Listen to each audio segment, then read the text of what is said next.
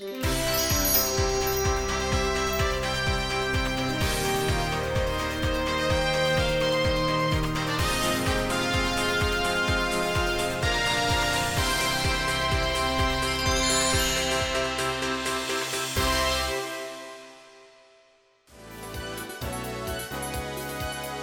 成22年6月4日金曜日。衆議院本会議で内閣総理大臣の指名選挙が行われました。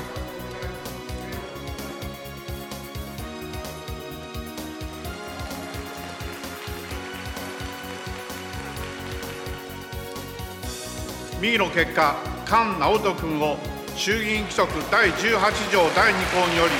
本院において内閣総理大臣に指名することに決まりました。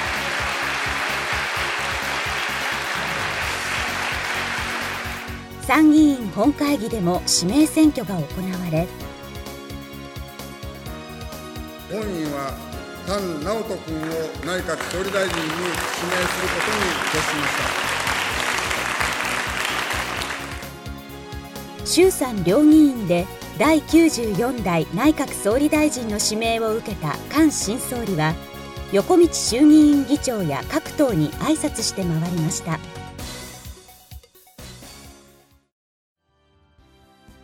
6月8日火曜日。菅総理は組閣に着手するため総理大臣官邸に入り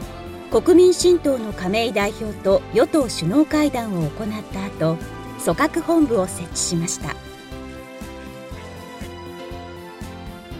閣僚の呼び込みが始まり連絡を受け取った閣僚が次々と官邸に参集します。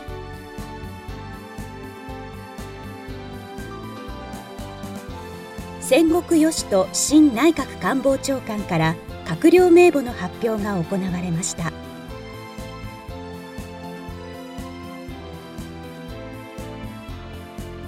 その後菅内閣総理大臣の記者会見が行われ。私は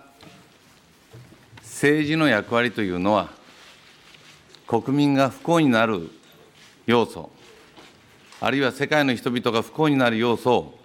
いかに少なくしていくのか。最小不幸の社会を作ることにあると考えております。日本という国のためさらには世界のために、私のあらん限りの力を尽くして、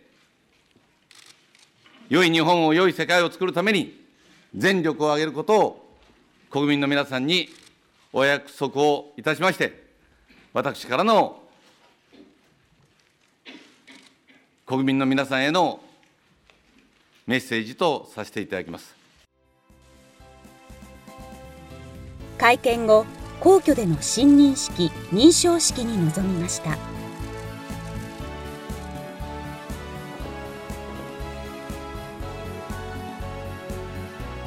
総理大臣官邸に戻り初閣議を行いました初閣議では官内閣の基本方針や人事案件について決定しました。閣議終了後全閣僚に内閣官房副長官らも加わり記念撮影を行いました。こうして菅内閣は正式に発足しました。